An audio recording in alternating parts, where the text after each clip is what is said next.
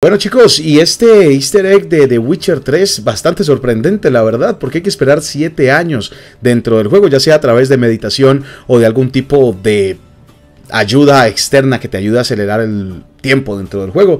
Y pues bueno, consta, o mejor dicho, se enfoca en Viviana, esta NPC, la cual padece de una maldición que la hace transformar en un ave cuando cae la luna llena. ¿Y qué pasa? Pues hay dos formas de poder quitarse esa maldición de encima. Una es pasársela a una persona inocente, cosa que ella no quiere.